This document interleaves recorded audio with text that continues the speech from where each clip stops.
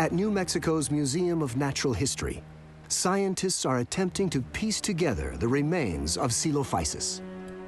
With a mouth full of dozens of sharp serrated teeth, the dinosaur's remains project a creature born to hunt.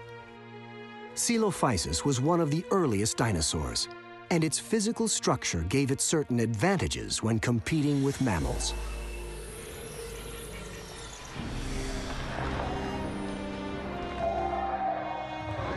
As a bipedal dinosaur, it walked upright on its hind limbs.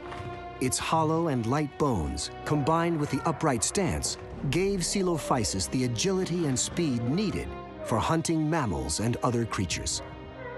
For millions of years, dinosaurs and mammals would compete, and how they evolved would determine who would dominate.